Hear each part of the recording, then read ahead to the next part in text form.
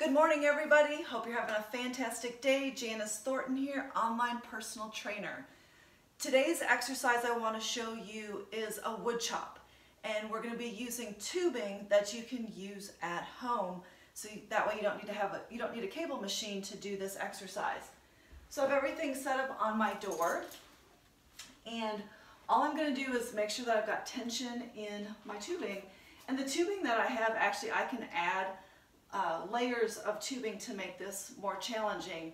And I'll post a link in the video in the comments so that way um, if you're interested in getting this awesome um, tubing set, you, you'd be able to do so.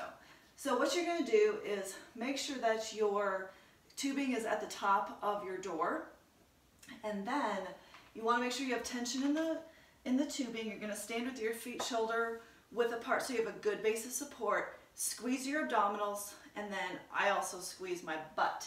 So what I'm going to do is I'm going to pull across my body and down and come up. Keep everything slow and controlled.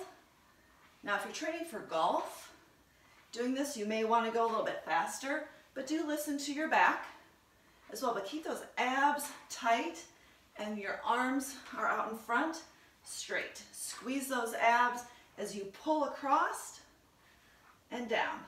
Now make sure that you do both sides because you don't want to just be developing one side. So that's the wood chop, everybody. Have a great day.